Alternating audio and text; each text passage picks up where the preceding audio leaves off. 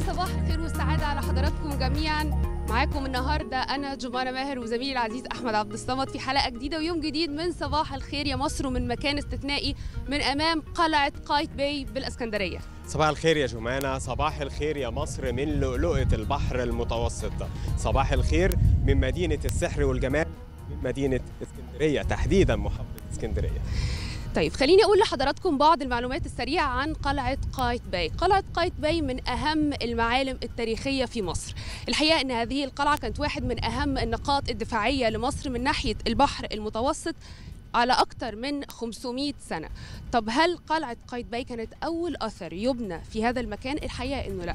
قلعة قايتباي كان في قبلها فنار الإسكندرية القديم أو منارة الإسكندرية القديمة. الحقيقة كانت واحدة من معالم أو من عجائب الدنيا الصعب السبعة الحقيقة ويمكن ده كمان في العصر القديم وتحديدا في العصر الروماني وتهدمت إثر زلزال كبير ضرب الإسكندرية في القرن ال14 هنا حضارة مدينة جمانة بتقع ما بين عالمين بتقع ما بين الشرق والغرب. مدينة أسسها الإسكندر المقدوني قبل أكثر من 2400 سنة. يمكن زي ما إحنا شايفين من على يساري إطلالة خلابة لقلعة بتعد من أقدم القلاع اللي موجودة في العالم من أقدم القلاع الحربية. أيضا لو بصينا بمدد الشوف وتحديدا على امتداد أكثر من 60 كيلو متر 60 كيلو متر هو طول الشاطئ هنا في محافظة الإسكندرية. هنلاقي إطلالة خلابة أيضا لعدد من الجسور لعدد من القصور أيضا لعدد من المباني المعمارية اللي بيغلب عليها الطابع الروماني.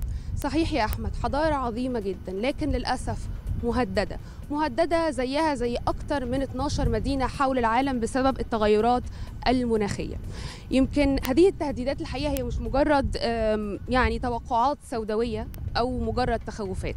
لأنه بمنتهى البساطة لو نظرنا عبر نافذة التاريخ هنلاقي إنه بالفعل في حضارات عظيمة وقوية جدا اندثرت بسبب التغيرات المناخية. على سبيل المثال يا أحمد الحضارة الأشورية. حقيقة جمانة خطر حقيقي ونقوص خطر حقيقي بيدق بيهدد أكتر من 12 مدينة مش بس مدينة الإسكندرية أو محافظة الإسكندرية لكنه بيهدد كمان 12 مدينة حول العالم. بنتكلم على مدن زي شنغهاي بنتكلم على لندن بنتكلم أيضا كمان في الأماكن المنخفضة اللي موجودة في ولاية فلوريدا وتحديدا ميامي دول بأكملها مهددة إن هي تنقرض أو تختفي بسبب ارتفاع منسوب المياه. بنتكلم زي جزر المالديف تحديدا في المحيط الهادي ويمكن ده اللي أكد عليه في قمة المناخ السابقة في جلاسكو وزير رئيس الوزراء السابق بوريس جونسون لما قال إن في ثلاث مدن مهددة بالاختفاء بسبب ارتفاع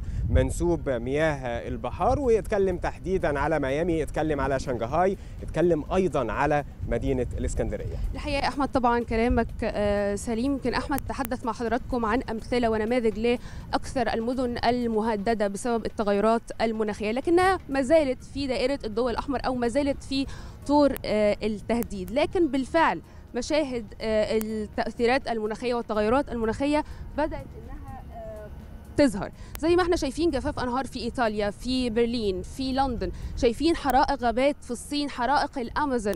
غابات الأمازون اللي بتعتبر من أكبر الغابات في العالم الاكبر غابات المطيرة في العالم واللي بتنتج لوحدها ومسؤولة عن إنتاج 10% من الأكسجين لهذا الكوكب زي ما بنقول لحضراتكم يعني مش مجرد تخوفات أو مش مجرد توقعات سوداوية. لو بصينا حتى لباكستان هنلاقي فيه فيضانات. الحقيقة مشاهد تدعو إن إحنا نتوقف قدامها وتدعو إن إحنا نتخيل إنه الأرض بتبعت لنا بمثابة تنبيه تنبيه إن بالفعل هذا الكوكب هو تحت تهديد أو خطر خطر يهدد الأمن المائي والغذائي والطبيعة الجغرافية خطر الحقيقة لازم نعتبر إنه ما يحدث الآن هو صراع بقاء للبشرية. زي ما انت قلت يا جمانه ما فيش حد بعيد عن خطر التغيرات المناخية. ما فيش حد بعيد عن دائرة التأثير والتأثر لأن كلنا بنعيش على كوكب الأرض. كلنا شركاء في هذا الكوكب. التغيرات المناخية بطبيعة الحال بتنعكس على كافة دول العالم. يمكن على مدار الأيام اللي فاتت تحديدا كنا بنسمع عن مصطلحات زي التغيرات المناخية زي الاحتباس الحراري ارتفاع درجات حرارة المحيطات أيضا التغيرات المناخية اللي